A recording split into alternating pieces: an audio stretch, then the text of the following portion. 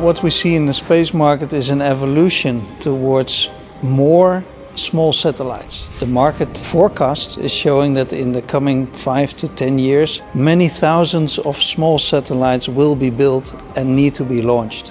So that is demanding a new solution for launching so many small satellites. And that means that the market is really looking for affordable small launchers to bring all these small satellites in, into orbit, which would mean a launch every one or two weeks. So every one or two weeks we need to produce a full launcher rocket system for an affordable price.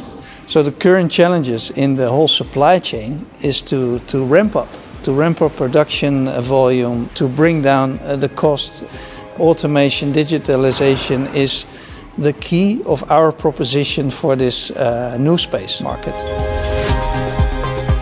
Three years ago, Airborne joined the SMILE project. SMILE stands for Small Innovative Launcher for Europe and the goal was to develop a launcher for satellites weighing around 100 kilo. There's a number of uh, challenges with regard to developing a small launcher. One is the, the weight of the launcher. There's, it's very critical to have a very lightweight structure uh, in order to keep the payload capacity. Secondly, because it has to be affordable, it's also important to keep the price down of the structure and the whole launcher. And for this, uh, we decided to use our automated laminating cell.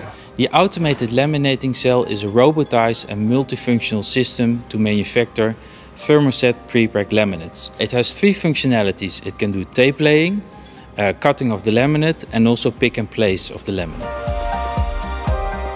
As we see a lot of these companies in the new space market at the point of having their first demonstration and proto flights and now need to make the step towards the recurring industrialization, we invite these companies to partner up with Airborne and to make this step real.